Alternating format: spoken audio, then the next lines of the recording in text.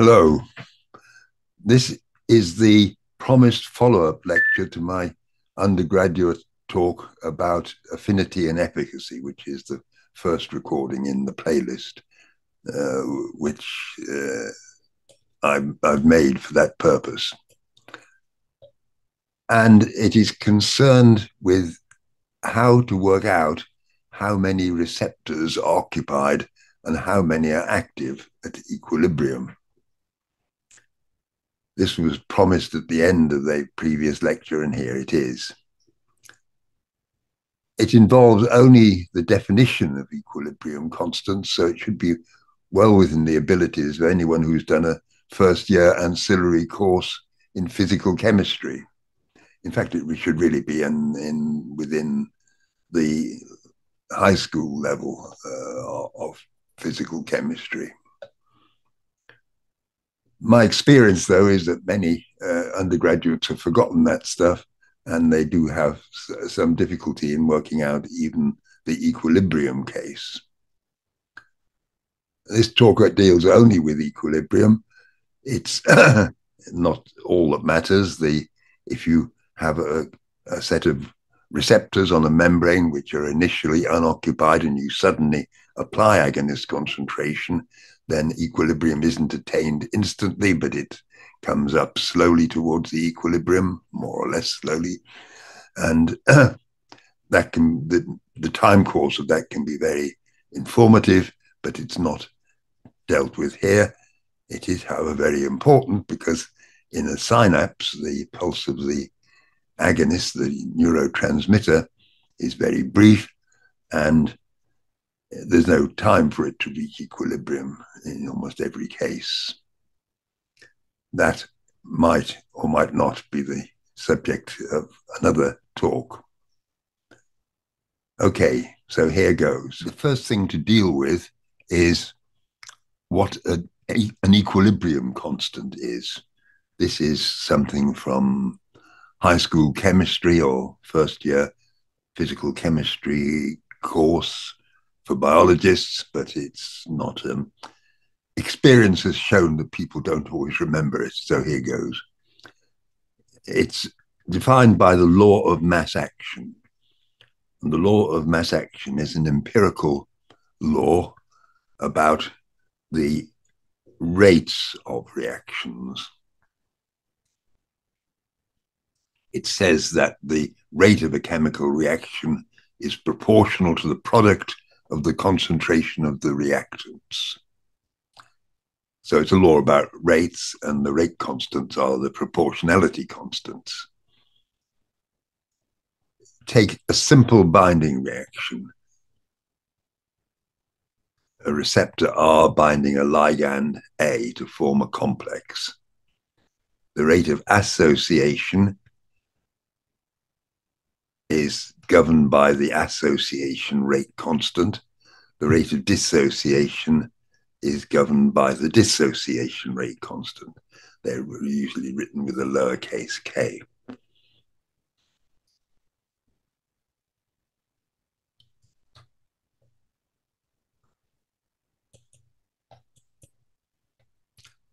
So k minus 1 is the dissociation rate constant, and it has units of reciprocal seconds or reciprocal time. K plus one is the association rate constant, and it has units of molar to the minus one, seconds to the minus one. We'll see that why that is in a moment.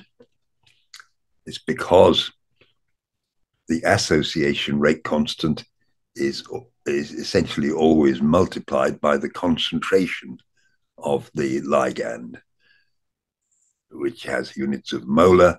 So their product, K plus one times the concentration of free ligand, has units of reciprocal time.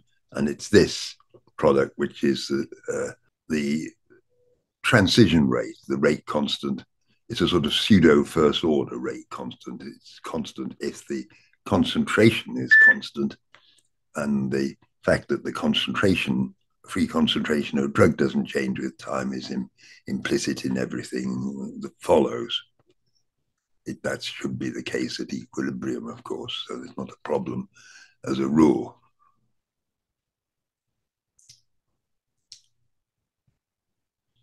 So how do we define the equilibrium constant for a binding reaction? The binding reaction has two reactants, the number of unoccupied receptors, Bacon receptors, which we call square brackets R. The square brackets are often used to indicate the concentration of a molecule. And the ligand molecules that are free in the solution with concentration A. So the rate of association is therefore the proportionality constant, the association rate constant, times the free concentration of drugs times the concentration of vacant receptors. The dissociation rate is a bit simpler because there's no drug concentration involved. All that's involved is the concentration of occupied receptors, square brackets AR. The, the, the bigger that is, the more molecules per second will dissociate, and the proportionality constant is the dissociation rate constant. So it's simply that. Now, at equilibrium, the dissociation rate is equal to the association rate. Of course, there are associations going on the whole time and dissociations going on the whole time. If you only had one molecule there, one receptor, you would see it, it jumping between the occupied and the unoccupied state. And it only looks constant because there's a large number of molecules involved as a rule. Uh, and so the fluctuations in the occupancy are small. And we can say that the association rate is equal to the dissociation rate at equilibrium. So we can define the dissociation equilibrium constant as the ratio of the dissociation rate constant to the association rate constant, and that'll be equal to this ratio of concentrations of the equilibrium equilibrium concentrations. So that's how you define the equilibrium constant. Now, the concentration of occupied binding sites and the concentration free binding sites are a bit of a problem because what units do you put them in there? They're bound to a membrane. So do you express it per square centimeter of membrane or do you express the concentration uh, per volume of the solution in which the membrane is contained? Well, it turns out not to matter because what we can use in place of the concentrations is the occupancy of the receptor, the fraction that are occupied.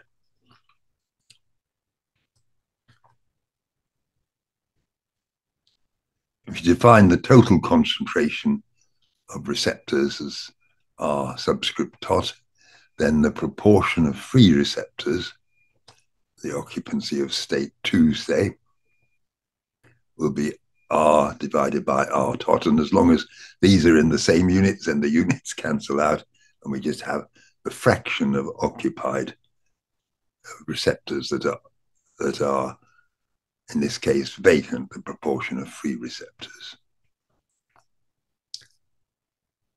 And that we, we use in place of the concentration. We divide the top and bottom of the definition of K by R tot, then we get K is A over P times P2 over P1. And that's how we, we do it in, in any case, however complicated. But let's stick now to the simplest case of a simple binding reaction, two states, of the binding site vacant and occupied with an equilibrium constant K. So this is the method I'm going to describe will turn out to be completely general, but we'll just do it for this simplest case in the first place. We number the states. One for the occupied state, two for the vacant state. Denote by P1 the fraction of receptors in the occupied state at equilibrium, sometimes called the occupancy of state 1. Define as P2 the fraction of receptors in the vacant, not occupied state at equilibrium. And we notice that these occupancies must add up to one. That's pretty obvious because there's only two states the receptor can be in, vacant or occupied.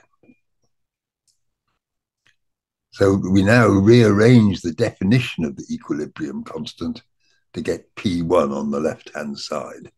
So we multiply both sides by P1, divide both sides by K, and we get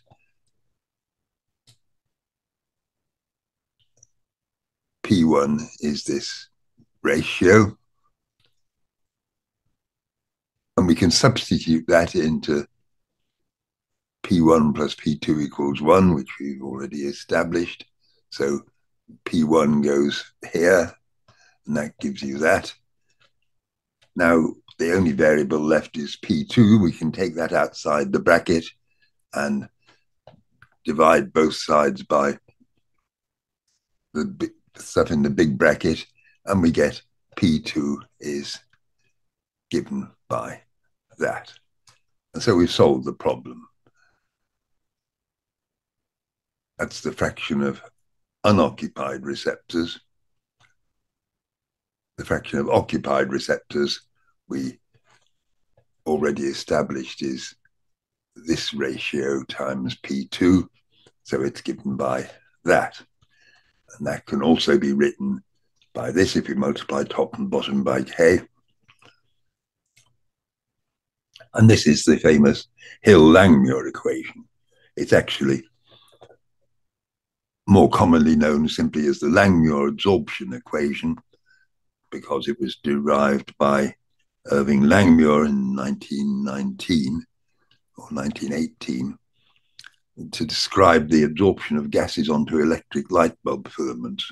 What he didn't know was that uh, 10 years earlier, A.V. Hill had derived the same equation in the Journal of Physiology to describe the binding of nicotine and curare to receptors. This was a, at the time A.V. Hill was uh, a, a, uh, still an undergraduate. It said that he lived on the same staircase in Trinity College, Cambridge, with John Maynard Keynes and Bertrand Russell, which is pretty august company.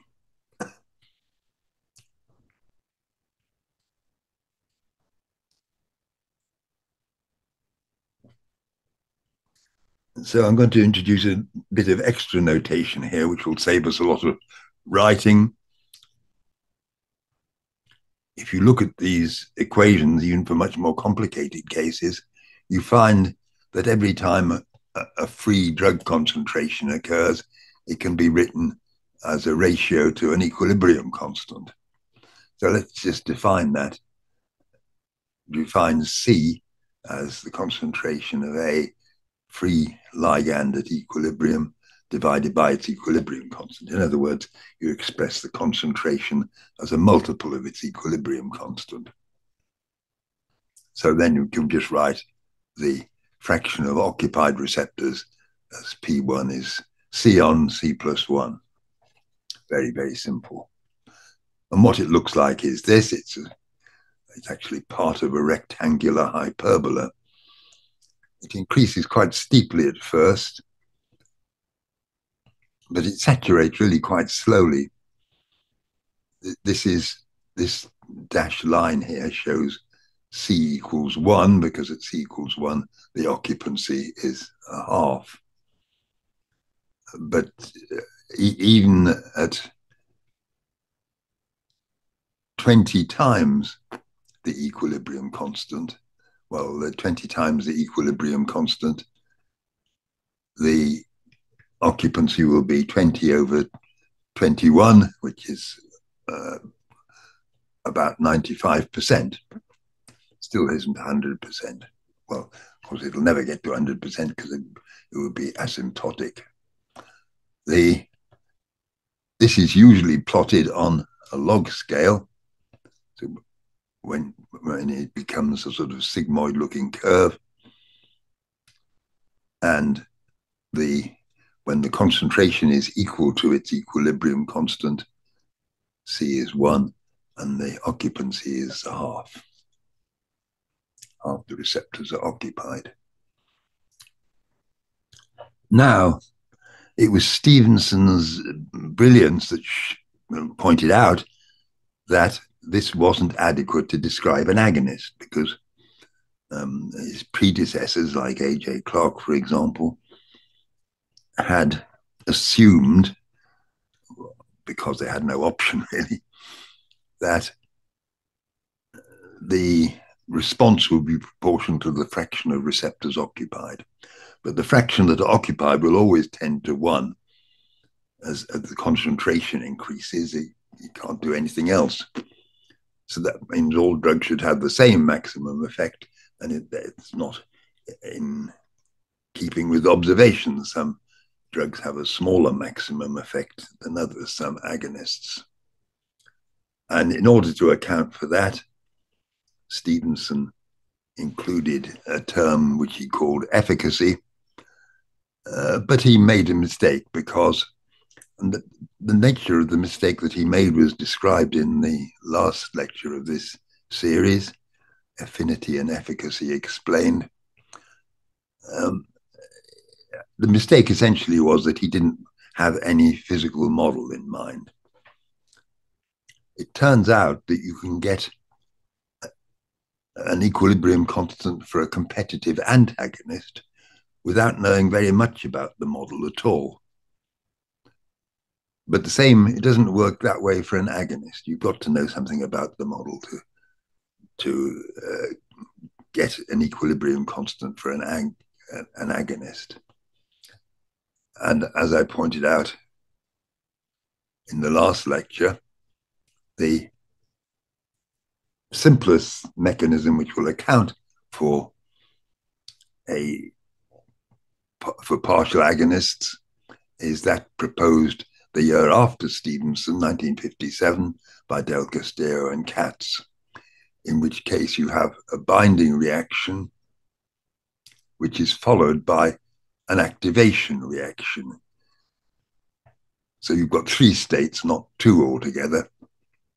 And this equilibrium constant for this activation reaction will describe the efficacy of the agonist, which is why it's called E. You might have the receptors fully occupied, but unless E is sufficiently big, they won't activate.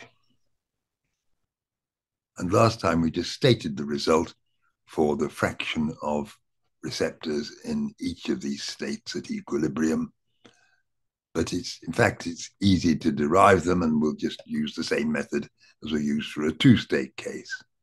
You number the states. State one is the active one.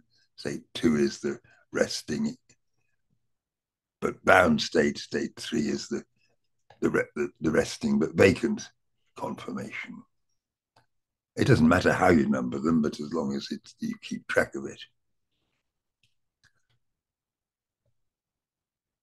We denote as P1 the fraction that are active state at equilibrium, at the occupancy of state one.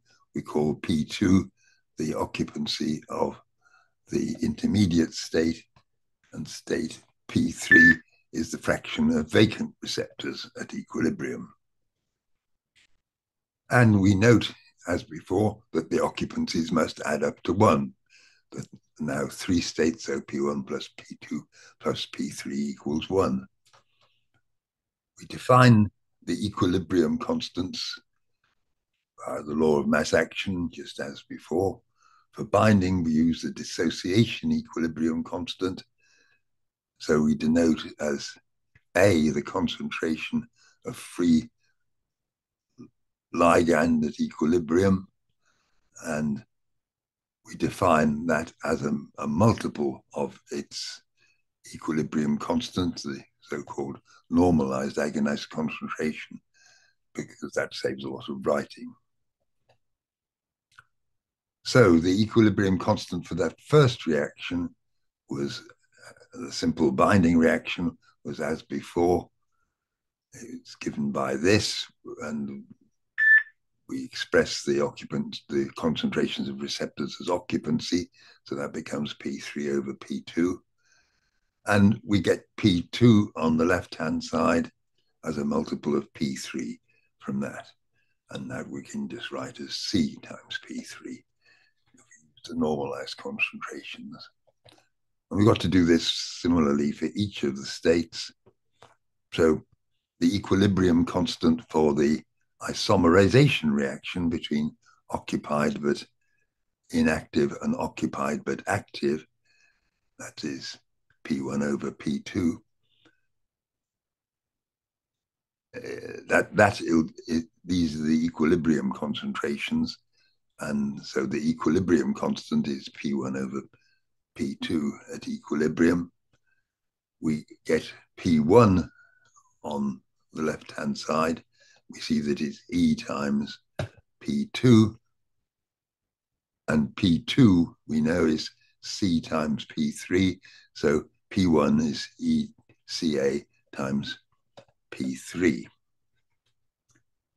So now we've got everything in terms of P3. We can write that this sum, which we know to be 1, is that which is P1, that which is P2, and P3 itself. We can now take the P3 outside the bracket, divide both sides by the stuff in the bracket, and we get the fraction of vacant receptors at equilibrium is 1 over this lot, or you can write it like that.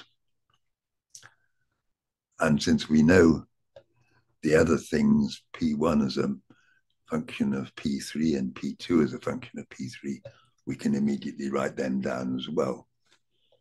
So P2 was Ca times P3, which is that. And the fraction of receptors in the active state is ECA times P3, which is this.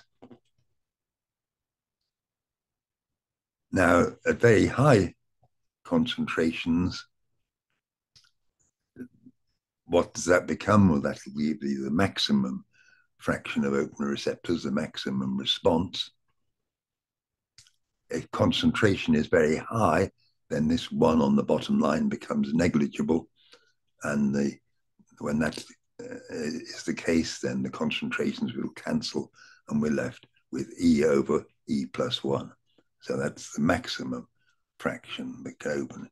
If E was one, then the maximum response would be 0.5. So that'd be a partial agonist. If E was 20, then the maximum response would be 20 over 20 plus 1, which is just over 0.95, 95% of receptors in the active state at a very high concentration.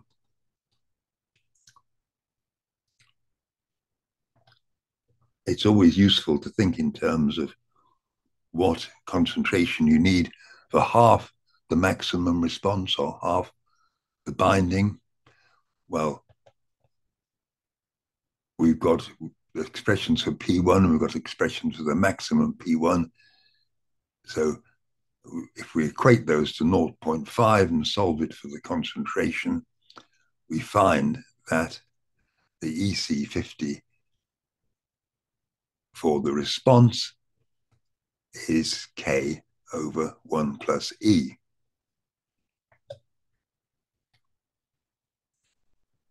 The EC50 for binding, it's a bit simpler because we don't have to um, the maximum binding is always one, so you can always occupy all of the receptors with a sufficient concentration. But the fraction bound is P1 at plus P2 because both of those species have agonists bound to them. And that comes to this. And when that's 0.5, then the concentration is the EC50 for binding, which is K over 1 plus E, exactly the same. The binding and the efficacy are inextricably mixed up, and you can't tell them apart from concentration response curves or, or from ligand binding curves. In fact, if we this enables us to define a sort of effective equilibrium constant as k over 1 plus e, because that's the concentration at which you get half the maximum response and half maximum binding. So it, behaves a bit like an equilibrium constant. It is a constant, but it depends on two equilibrium constants. K and E are called microscopic equilibrium constants because they refer to single steps in the reaction scheme. K effective, which involves both of them, is described as a macroscopic equilibrium constant because it defines what you see in some sorts of experiment. It's a constant, but it's not. It doesn't describe a single step. It describes both steps.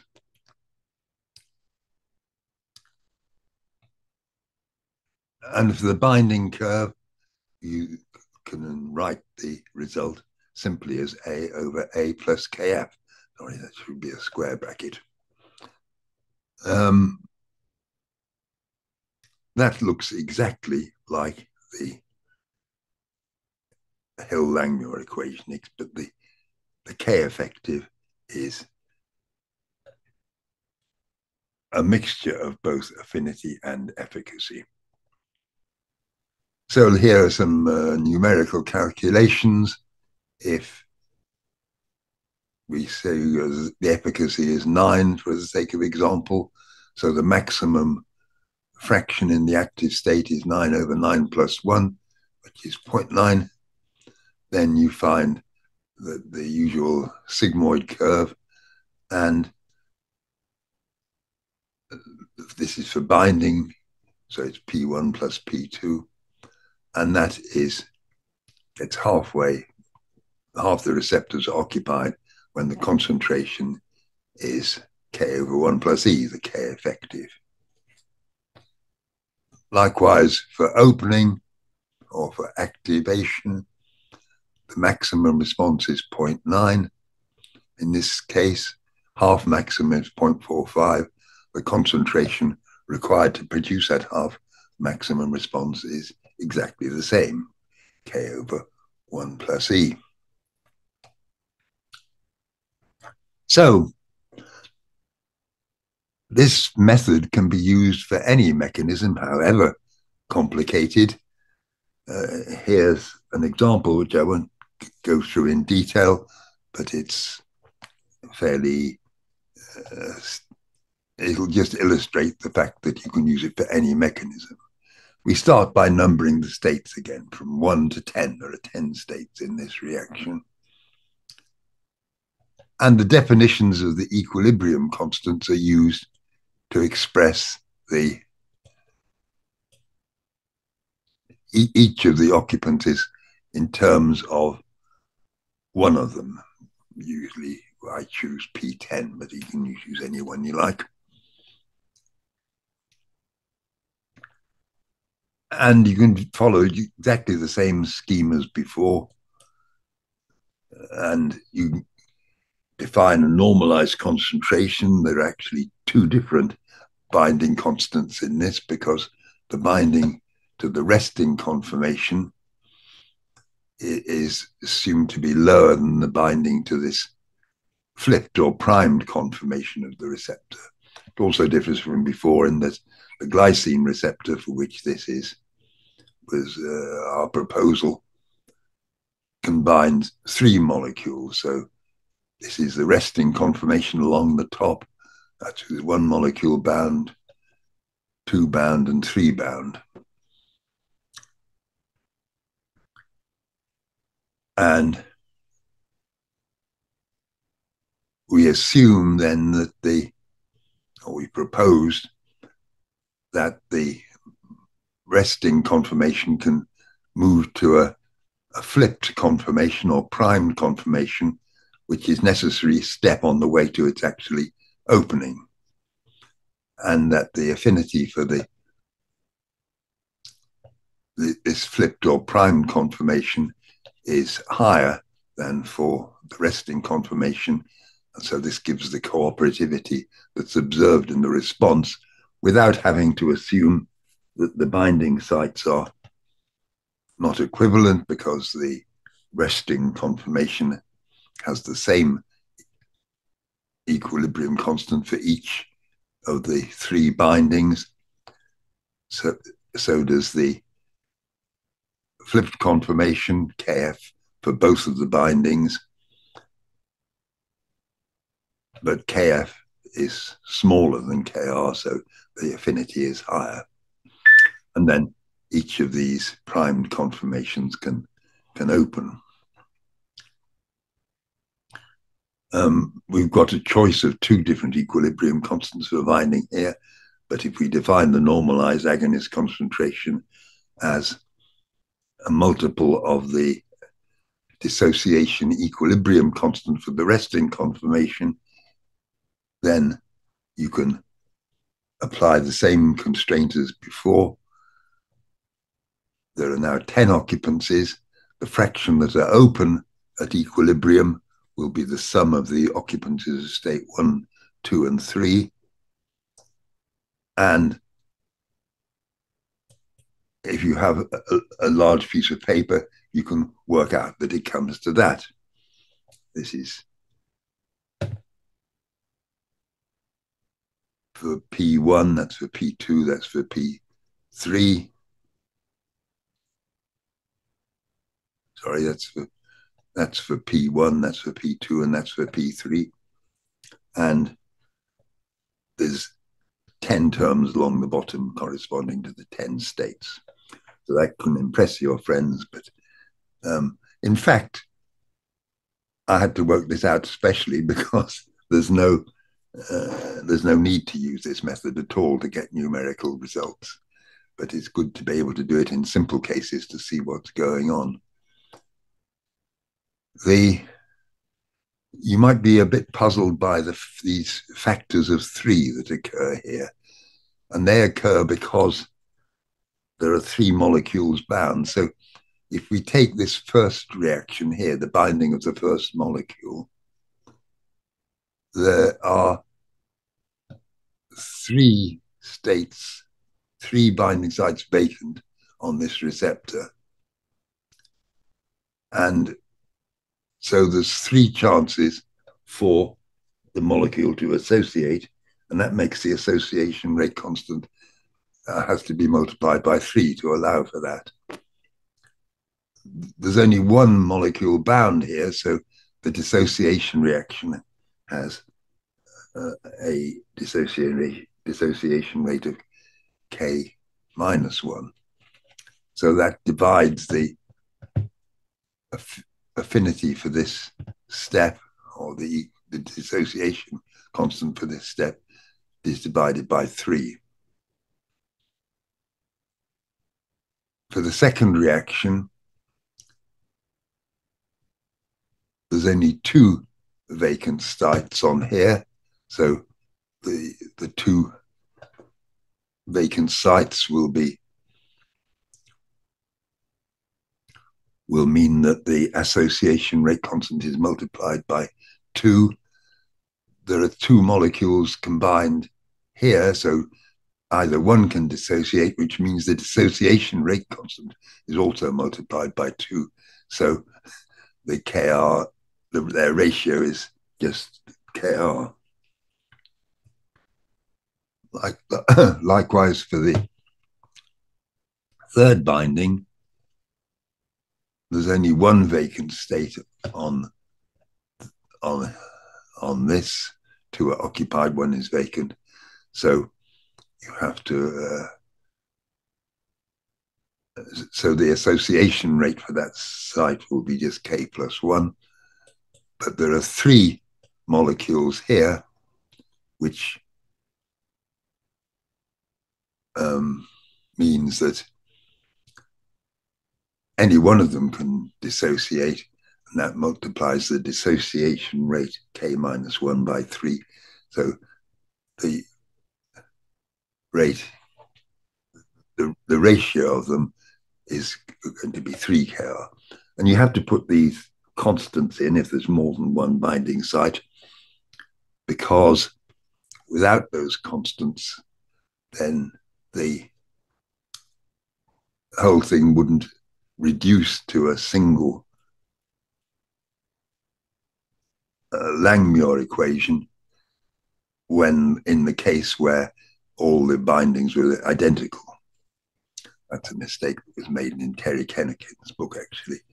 He says that it's approximate, but it's exact if you include those so called statistical factors.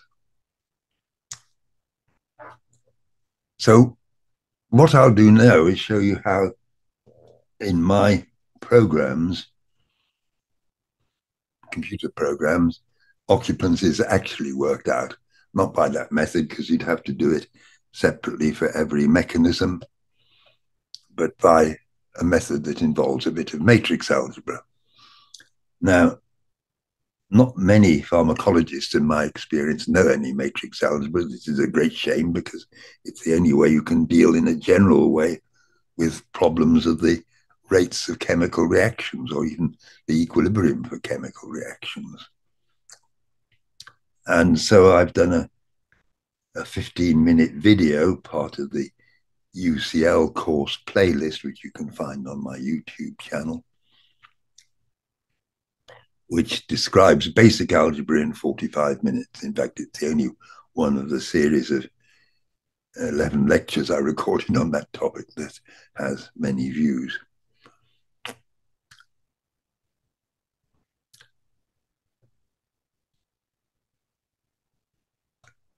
So I'll just describe quickly how you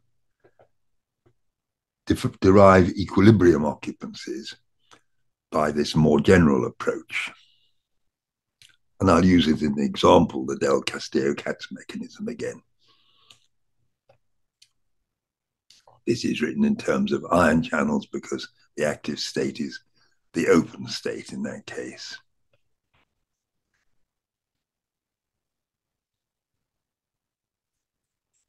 This is the Del Castillo-Katz mechanism, but the arrows are labeled with the rate constants rather than the equilibrium constants because this method I'm going to describe is entirely general. It can be used to work out the rate of approach to equilibrium as well as the equilibrium properties.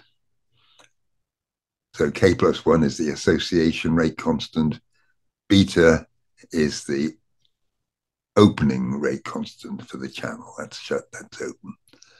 And alpha is the shutting rate constant.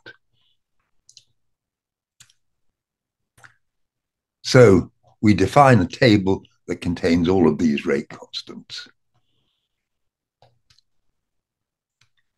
This table has in the ith row and the jth column the rate of transition rate from state i to state j.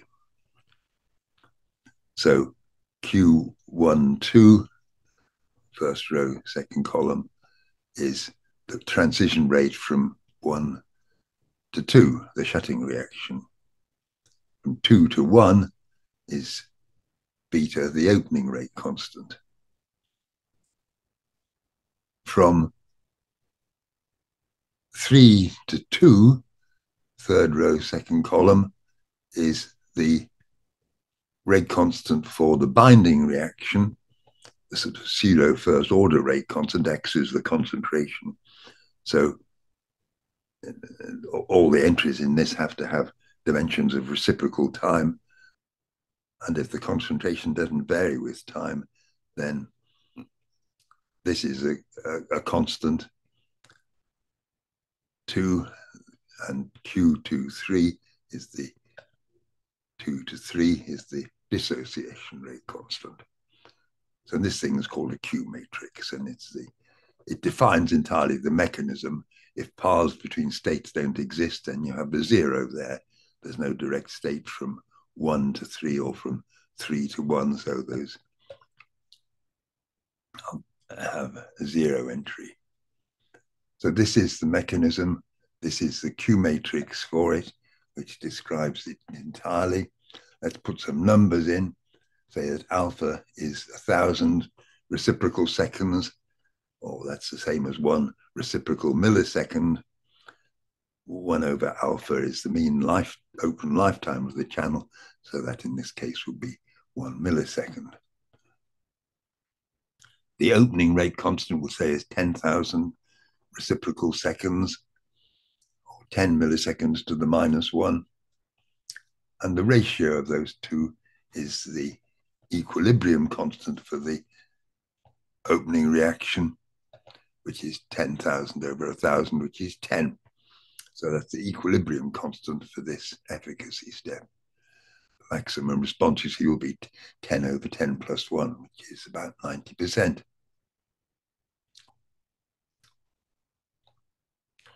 Say the dissociation rate constant is 8,000 reciprocal seconds or 8 milliseconds to the minus 1.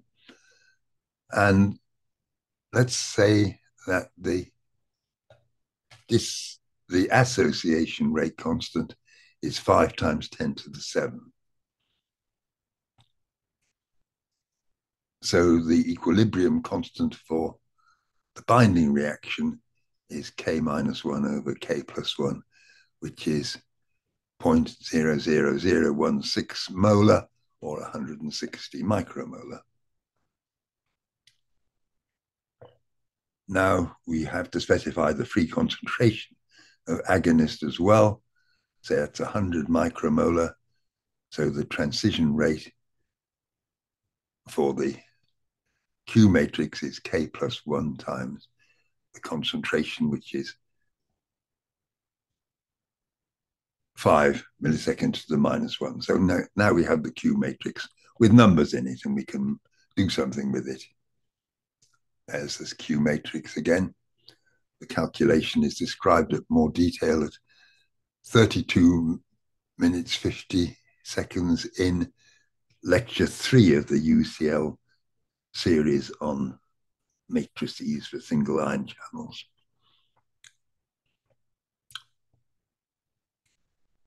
But I'll just whiz through it here to show that it can be done. Having got the Q matrix, you define a, a, a column and vector of ones. We augment Q by sticking that column vector of ones on the left, the right hand end of it. So we have a three row by four column matrix. We multiply S by its transpose, which gets us back to a three by three matrix. And we invert this and pre-multiply it by a row column vector of ones, and that gives us a row vector that contains the equilibrium occupancies. The equilibrium occupancies are called P infinity because in general, the occupancies vary with time, so they'd be, be written as P of T. After an infinite time, they reach equilibrium. So we write the equilibrium occupancies as P infinity, and they come out to be that 79.4 in the active state, 7.9 in the intermediate state, and 12.7% vacant receptors.